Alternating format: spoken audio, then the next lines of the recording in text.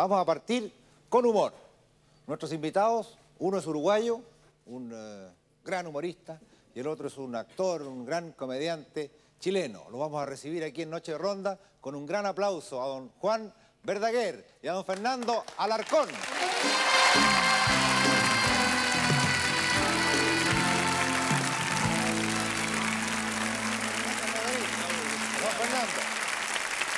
Muchas gracias. Asiento, Fernandito. ¿Cómo lo han tratado aquí en Chile? A mí me tratan siempre muy bien, porque yo los quiero mucho y entonces la cuestión es ida y vuelta, ¿no es cierto? Y Nunca es una cuestión de una parte sola.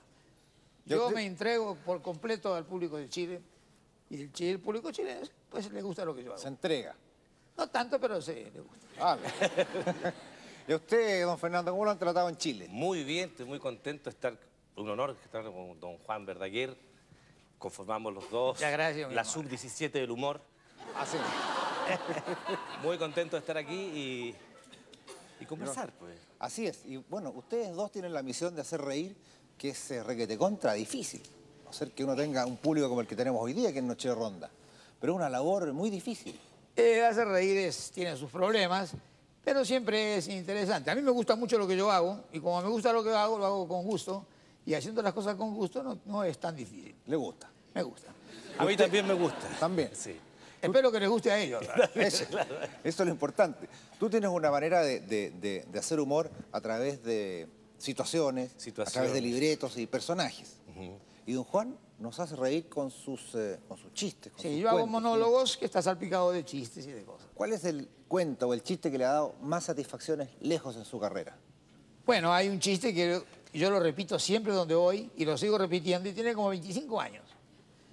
Además, pido disculpa al público siempre que lo cuento, esperando de que ellos lo de conocer, pero que es una cosa que tengo que contarlo porque es una... Para mí es algo sensacional, es una cuestión romántica, yo no sé qué. Tengo cariño a ese cuento. Es el cuento del loro, no sé si usted lo conoce. ¿El cual yo conozco el loro Bueno, del, el, del no, el cuento del loro es un, a un loro le viene a decir, ¿quién es? Eso era todo lo que sabía decir el loro. ¿Quién es? Un día se fueron todos de la casa y el loro quedó solo, llaman a la puerta. El loro dice, ¿quién es? El plomero. ¿Quién es? El plomero. ¿Quién es? El plomero que viene a arreglar un caño. ¿Quién es? ¡El plomero! ¿Quién es? El plomero se desmayó de los nervios. Pasó un vecino, lo vio en el suelo, preguntó, ¿y este quién es? El otro dijo, el plomero. Este es el chiste Ese es el, eh, que a mí me da más satisfacción.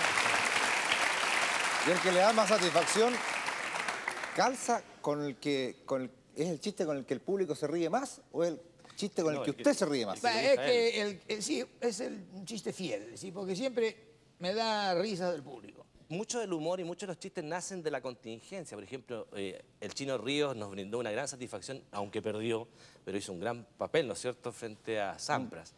Surgen chistes sobre el tenis, por ejemplo. Viene un guasito al Estadio Nacional, don Juan. El guasito es el hombre de nuestros campos, pero no había ido nunca al estadio, y menos al tenis. Y llega al curso central, que está repleto, con su boletito aquí, ve que está lleno el, el curso central. Y ve que hay un asiento desocupado. Bueno, me sentaré aquí a ver esta cuestión. Y ve que está el público estaba así como tú, con el pie así, la pierna así, ¿eh? Y empieza a ver el partido.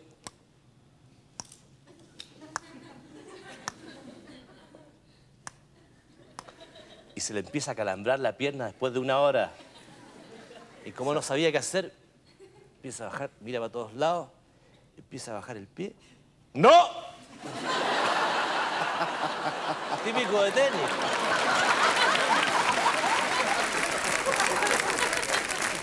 Se muere Robert Redford ¿Ah, sí? y se va al cielo. No. ¿sí? Lo recibe San Pedro y le dice, eh, ¿su nombre, señor? Robert Redford. A ver. Ramírez, Rodríguez, Retamal, Redford, sí.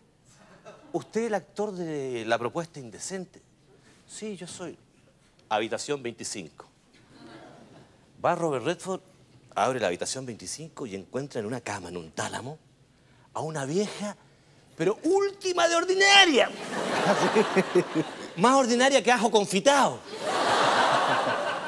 Entra y se cierra la puerta y se oye una voz de, ultra- de ultratumba que dice, Robert Redford, por los pecados que cometiste en la tierra. ¿Qué me dice? Obligado a pasar la Al poco con la vieja. tiempo, claro, se muere Michael Douglas. Va al cielo, San Pedro dice, ¿tu nombre, señor? Michael Douglas. Eh, Dávila, no, a ese lo mandamos al infierno. Eh, David Dávila, Do- Do- Do- Do- Domínguez, Domínguez. da. Aquí está, pues. Douglas. ¿Usted no es el actor que trabajó en Bajos Instintos? Sí. Habitación 18. Va Michael Douglas, abre la puerta y encuentra en un tálamo en la cama a una vieja, pero más ordinaria que la otra. más ordinaria que celular con ficha. Se cierra la puerta y se oye una voz de ultratumba que dice, Michael Douglas, por los pecados que cometiste en la tierra. ¿Y me van a creer todos ustedes que se muere Fernando Alarcón? Sí. Y se va al cielo también. Lógico. Y lo recibe San Pedro. Su nombre, señor, Fernando Alarcón. Fernando. Uy, lo había confundido con Tom Cruise. Habitación 16. Entra Fernando Alarcón, abre la puerta y encuentra en una cama, en un tálamo, a la Kim Basinger en la plenitud de su belleza.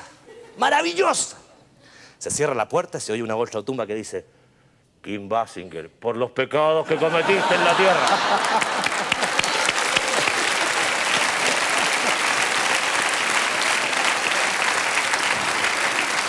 Muy bueno. Me faltó describir a la Kim Basinger, ¿ah? Fantástica, maravillosa. Maravillosa.